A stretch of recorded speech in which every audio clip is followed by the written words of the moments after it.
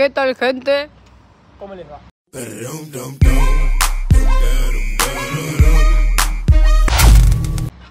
Adivinen qué estamos haciendo. Le vamos a cambiar los amortiguadores al cano. Sí, Amortiguadores y le tenemos que cambiar la cazoleta porque como que...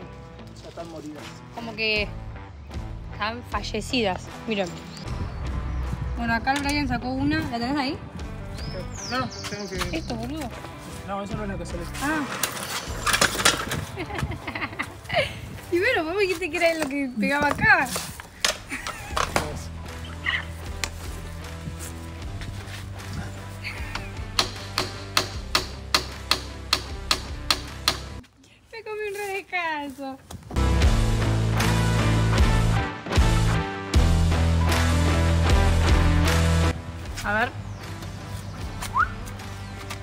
Esta es la cazoleta.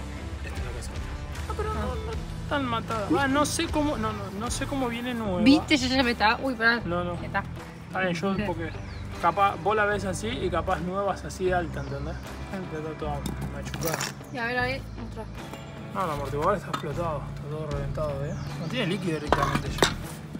Va, Vamos a desarmarlo.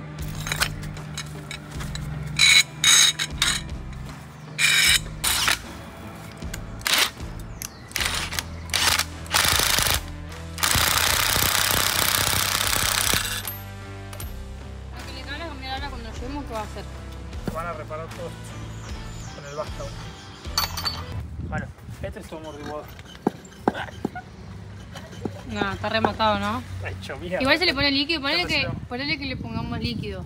De. Sí, se le, ¿Va? puede, se le puede hacer y va a mejorar, pero si el retén está roto ya hay que cambiarlo todo.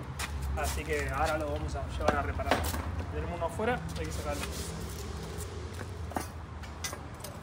Y el espiral está ahí, no está matado. Es re raro, ¿viste? ¿Qué cosa? El espiral ese.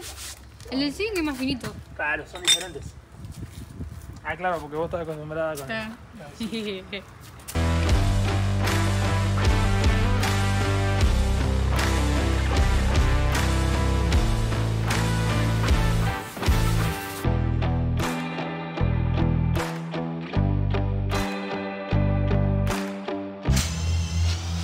El segundo. No sirve ni pack.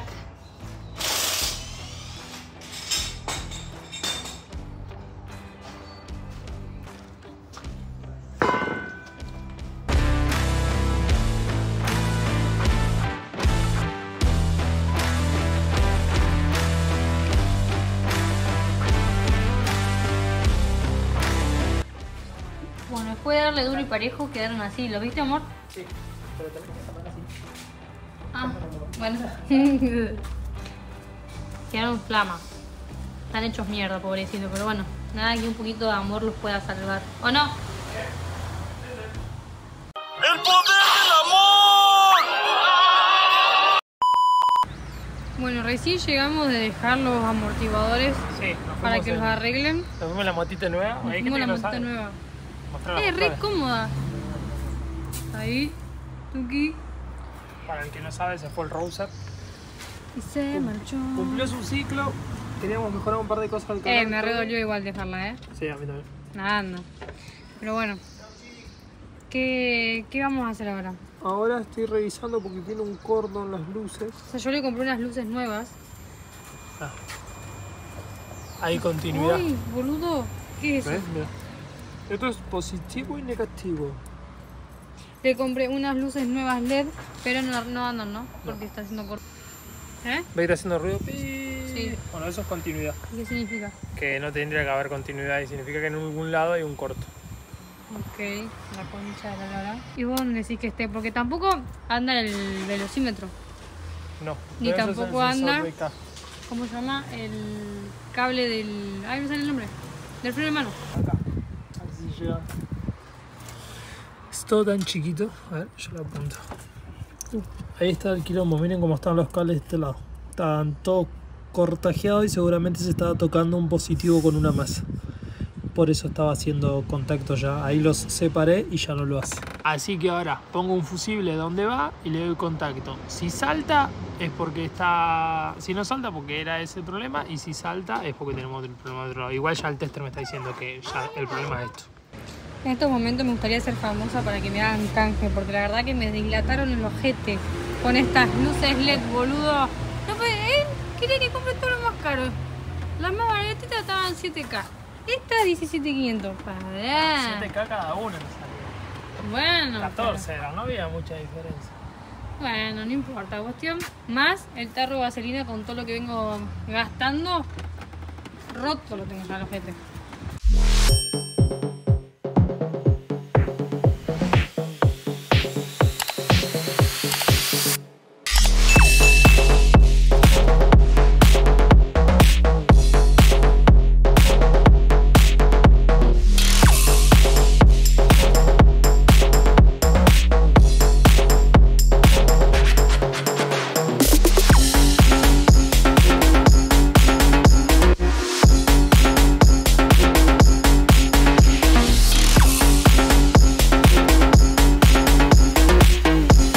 Tenemos casi todo en punga con el K, ya tenemos hecho todos los mantenimientos, los filtros, todo ya funciona, las luces, no funcionan las luces altas porque tiene un corto con las luces altas, por eso las anulé.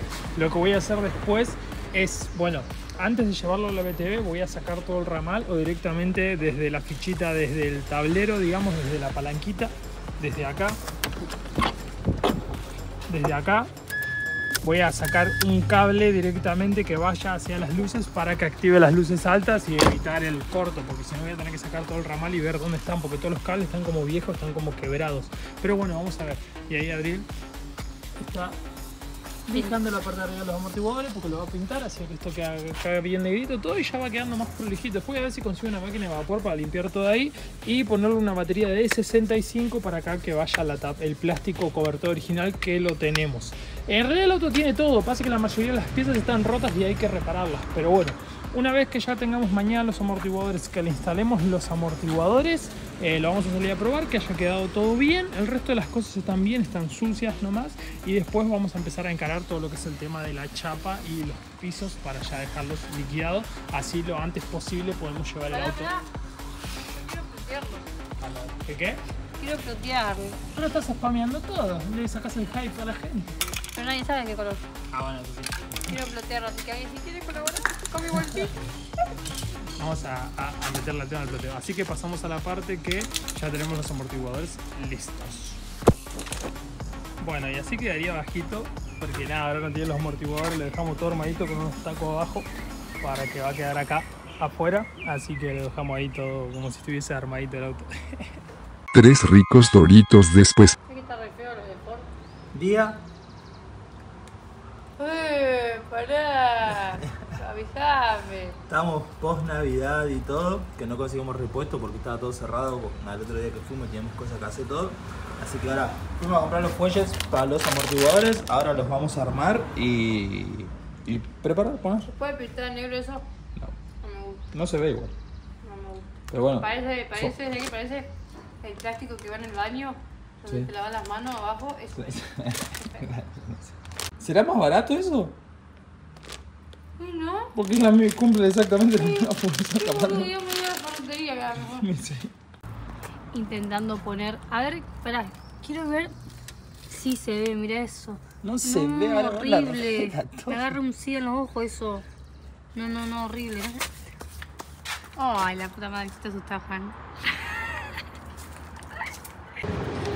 Bueno, estaba grabando y justo vino. ¿Cómo se llama? El Juancito. No se ve el coso, así se ve. Qué feo, No boludo. se ve, ¿qué te Horrible, Es un horrible. coso celeste. Y bueno, parece la manguera del baño. Horrible. bueno, ya estamos poniendo el primero. Pará. El primero. Y queda este y ya estaríamos, ¿no? ¿Eh? Ya estaríamos. Ya quedó todo Tengo que comprarle las cazoletas de los dos lados. ¿Cuánto me querían cobrar? ¿20k cada uno? 24. Igual, a ver, están matadas, sí, pero todavía tienen un poquito de vida útil. Igual me parece re caro. O sea, son cazoletas que tranquilamente se las puedo fabricar. Voy, compro la goma, voy al tornero, armamos una cazoleta cojuda bien piola y Mm. chao. Bueno, ahora voy a ver si le puedo conseguir la parrilla. Esto no sé si se lo voy a pintar o si directamente compro uno nuevo. Y después, como para lo último, le voy a comprar las mangueras, las mangueras no, los cables Ferrazzi. ¿Qué decís? Y esto le voy a pintar todo negro y le pongo una H. Y al lado Betec. Ahora estaría bueno limpiar el guardaplas, todo eso que quede limpio. Igual, vamos a hacer una cosa, porque todavía queda la uno. Lo ¿Qué es ahí. ¿Cuál es el guardaplan? Todo esto, todo esto, todo esto. Sí, está limpio eso. Ah, mira cómo está. Esto es negro. Porque le agarró lluvia. Mirá.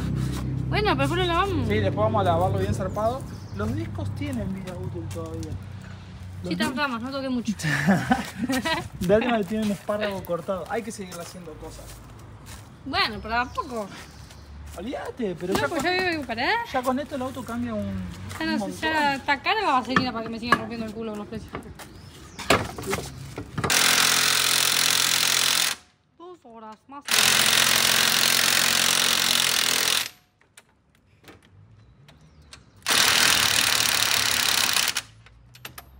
Bueno, ya pusieron el segundo, la pusieron, el Brian puso y ahí está la manguera de baño. Horrible, Dios, qué cosa fea, Dios, no puede ser tan fea eso, no te rías, no puedo. Es horrible. Horrible, parece un baño público en mi cámara.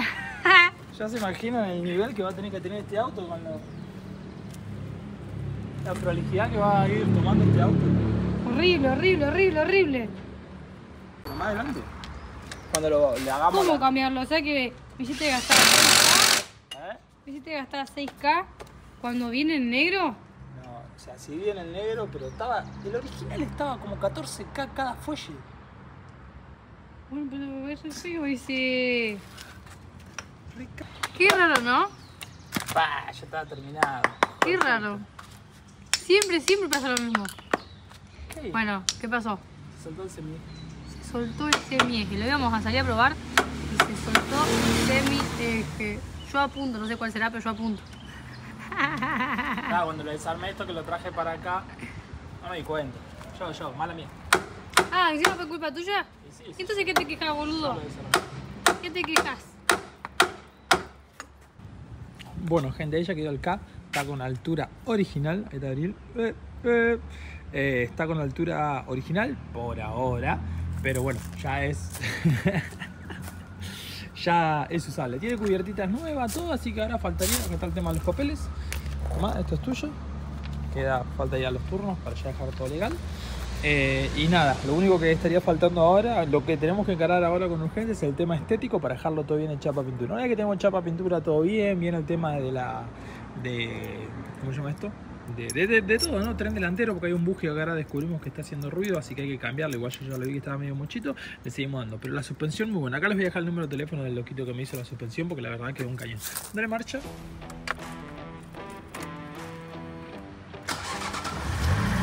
Un cañito. Un cañito. Así que ahora, eh, nada, me tengo que ir a buscar un par de cosas para la moto. Bueno, este video lo vamos a terminar como unos días después. Ya probamos la suspensión, quedó cañón. ¿Qué te reís? ¿Estás riendo por el pozo que pasé? Las luces también quedaron alumbrando zarpado. La verdad que Son unos LED solamente, pero Bueno, nada.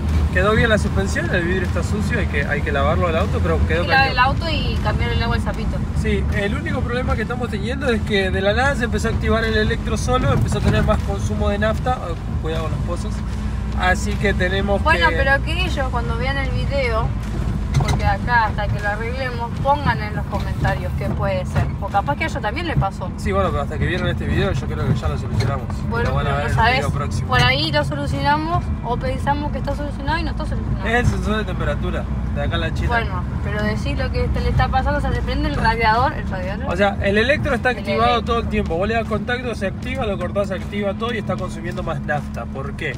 Eso es un diagnóstico de que no está funcionando el sensor de temperatura. ¿sí?